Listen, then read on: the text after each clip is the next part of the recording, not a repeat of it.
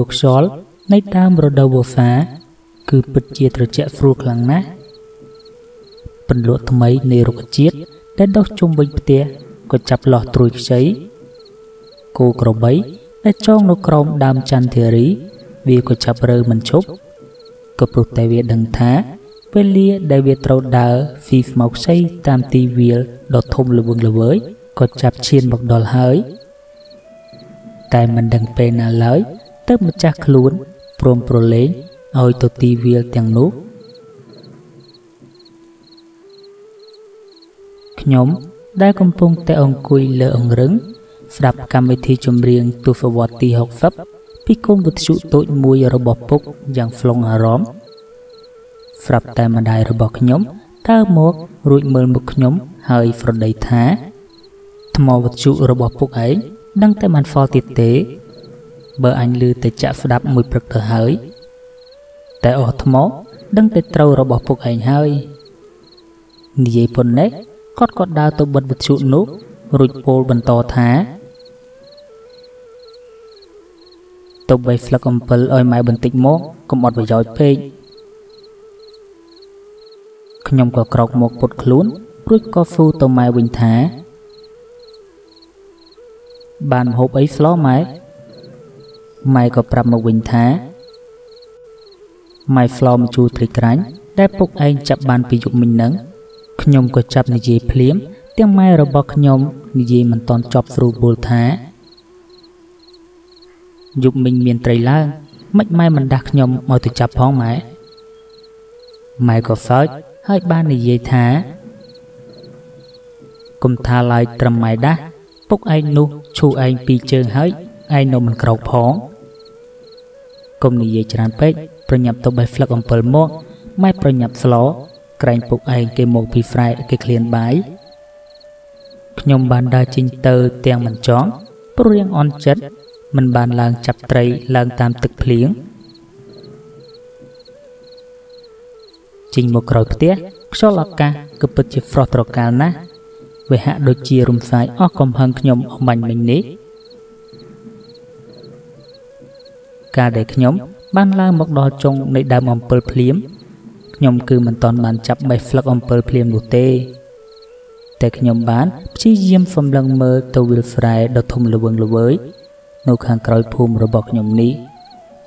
វាគឺស្រឡះល្អណាស់វិលស្រែប្រែជាមានទឹកដក់កាត់ថ្លុកស្របពេលដែលស្មៅចាប់ដោះពន្លកខៀវខ្ចីដែលវាប្រែដីវានោះទៅជាខៀវស្រងាត់កប់នេត្រា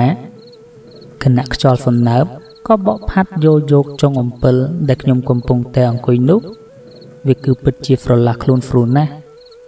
ពេលនោះក៏ស្រាប់តែខ្ញុំបានឮសំឡេងគ្រាប់ចំពីមបាញ់ប៉ះទៅនឹងមែកឈើមួយក្បែរនឹងដើមអំពិលខ្ញុំ ដែលវាធ្វើឲ្យខ្ញុំភ្ញាក់ព្រឺ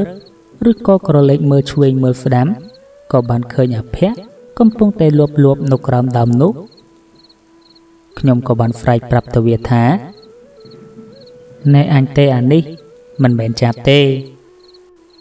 ចាប់ហែងបាញ់មិញវាហើចេញទៅបាត់ហើយពេលនោះអភ័ក្រក៏តបមកថាអើ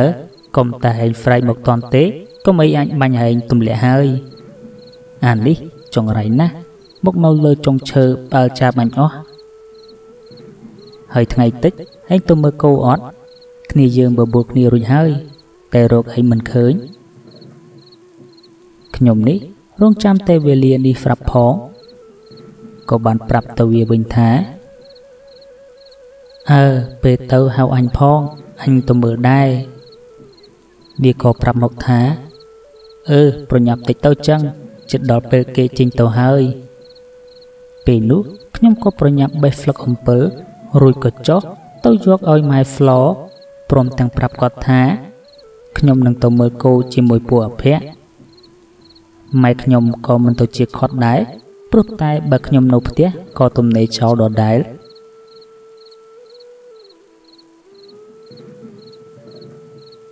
គ្រាន់តែម៉ែបានរៀបចំវិចបាយមហូបរួចរាល់ស្រាប់តែអភ័ក្រក៏បានដើរមកដល់ស្រែកហ្វូមកខ្ញុំថា ហើយឬនៅវើយខ្ញុំក៏បានប្រាប់វាថាអឺអញរួចហើយចាំបន្តិចអញទៅប្រឡែងគោសិន គោរបស់ខ្ញុំមិនជាច្រើនទេ ត្រឹមតែមេ2គោល1ប៉ុណ្ណោះមេទាំងពីរហ្នឹងវាធ្លាប់ដើរទៅទីវាលនឹងឡើងស្គាល់ផ្លូវអស់ទៅហើយគ្រាន់តែខ្ញុំប្រឡែងភ្លាម វារត់ចូលវងផ្លេតមិនទៅជាពិបាកពេកនោះទេ ហើយវាក៏ជាពេលដែលខ្ញុំអាចដើរលេងជាមួយពួកអដែងបានយ៉ាងសប្បាយ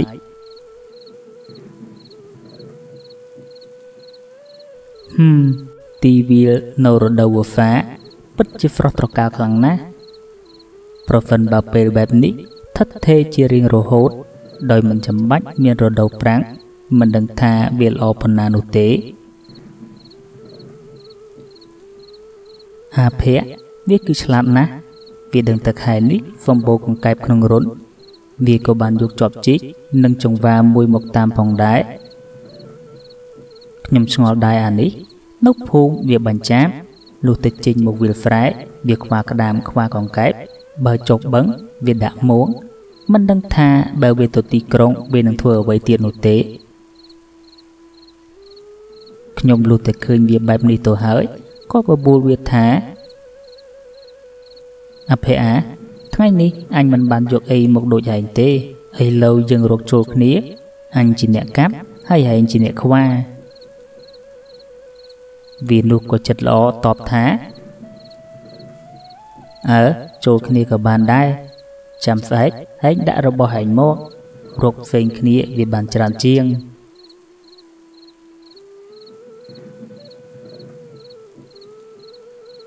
ខ្ញុំទាំងពីរនាក់បានដើរបណ្ដើររករុនកង្កែបបណ្ដើរយ៉ាងសប្បាយក៏ព្រោះតែភ្លៀងធ្លាក់ថ្មី ខ្វះអីកង្កែបចូលរុនរកមិនតន់បានប៉ុន្មានផ កក៏ចិត្តបានមួយទ្រង់ទៅហើយលុះតែហត់ពេកពួកខ្ញុំក៏យកមកអង្គុយក្រោមម្លប់ដើមក្រសាំងមកត្រពាំងដំរីរនាល ហើយក៏នាំគ្នាដើររកអុសណាស្ងួត យកបុកបង្កាត់ដុតក្តាមពីសាលេងវាលេងអីឈ្ងុយពេញទាំងវាល វាធ្វើឲ្យពពួកអដែងផ្សេងទៀតមុខខ្ចីយកជាប់ជីកទៅជីកក្តាមដុតឆៃដែរ លុះតែសបាយអស់ចិត្តហើយ ពួកខ្ញុំក៏ចាប់បបួលគ្នាថាអេពួកអដែងងូតទឹកលេងអត់ណាក្រែងចាប់បានខ្ចងផងបើបានវាឆ្ងាញ់ជាងក្តាមម៉ាមិនតន់និយាយចប់ផងអភ័ក្រក៏ដោះកៅអៅរួចចុះទឹកបាត់ទៅហើយពួកខ្ញុំមិនតន់នឹងដោះកៅអៅចេញផងក៏ស្រាប់តែអានោះវាងើបមុខថា ខ្យងច្រើនណាស់ពួកអដែងតែប៉ុណ្ណេះម្នាក់ម្នាក់ក៏ចាប់ហក់ចុះទឹក ប្រឡែងគ្នាផងរាវយកខ្យងផងមានតែអប្រមាណអ្នកប៉ុណ្ណោះដែលវាមិនចេះហែលទឹក ណាមួយទឹកនេះត្រជាក់ណាស់វាខ្លាចរងាហើយវាសុំឲ្យពួកខ្ញុំគប់ខ្យងមកលើវាជាអ្នកដុតអានេះវាចេះណាស់ដុតបណ្ដើឆៃបណ្ដើអាអ្នកចុះរាវមកខំជ្រមុជហ្វឹងតែដាច់ខ្យល់ទៅហើយ ខ្ញុំនេះមិនទុកភ្លើចាញ់បោកវាទេហ្វុកចិត្តមូននឹងចង្កេះខោទុក តែក៏មិនស្រួលដែរពេលជ្រមុជម្ដងម្ដងសឹងតែរបូតខោទៅហើយមើលទៅខោខ្ញុំទុកមិនជាប់ទៀតទេក៏សម្រេចចិត្តឡើងមកលើគោកវិញខ្លាចវារបូតខ្មាស់គេហឹមខ្ចងស្រែស្រស់ស្រស់ដុតឲ្យតែពុះទឹកបន្តិចនោះ គឺឆ្ងាញ់រកលេខដាក់គ្មានទេ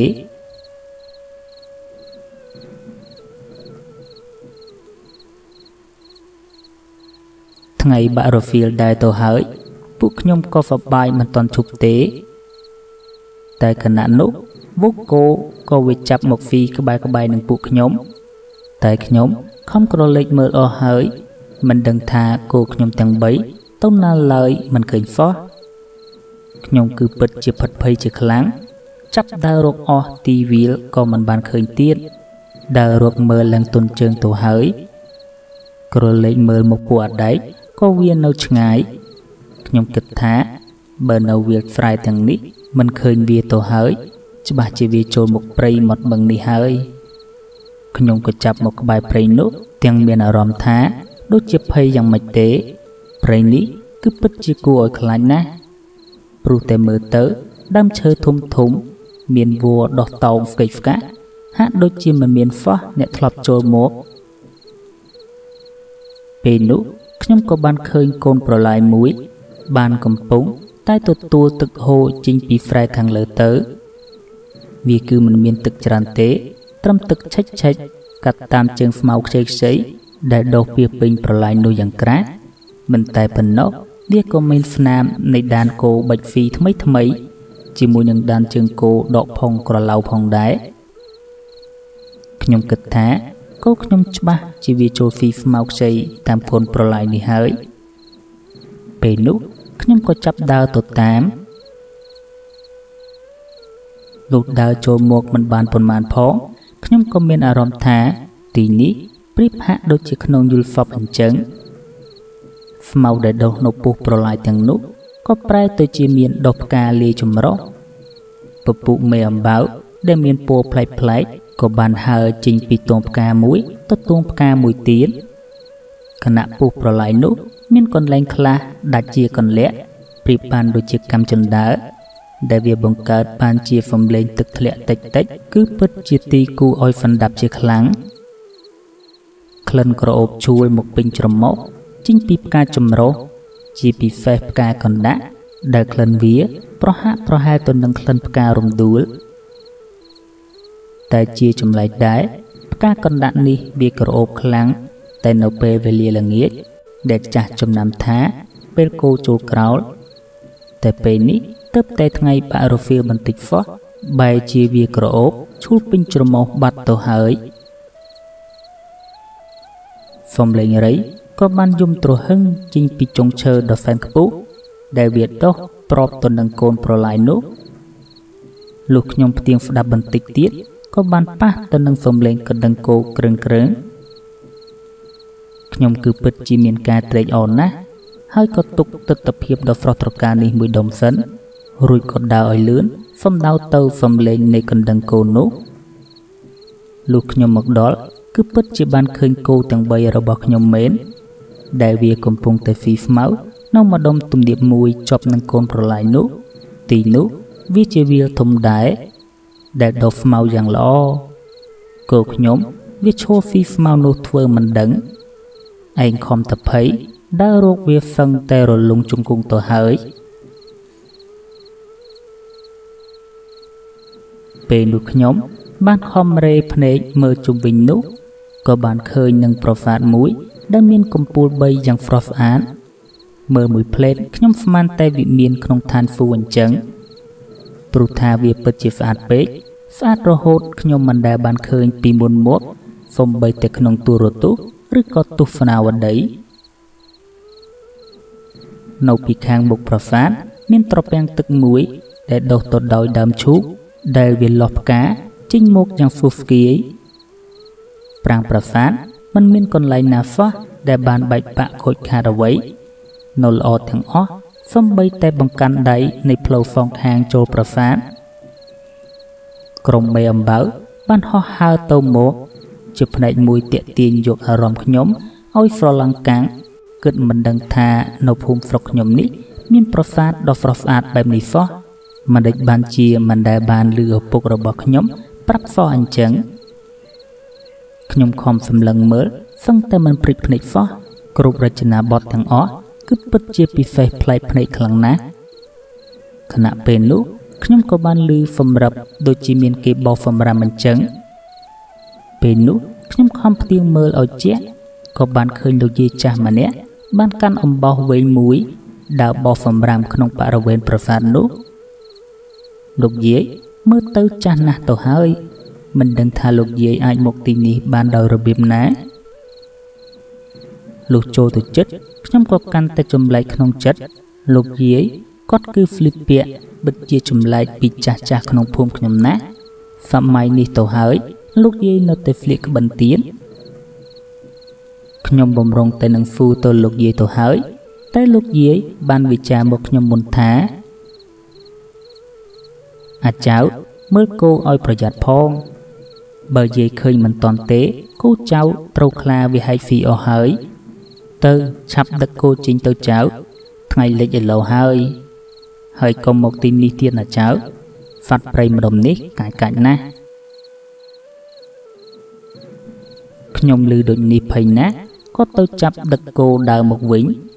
ទាំងអារម្មណ៍សោកស្ដាយជាខ្លាំងស្ដាយថា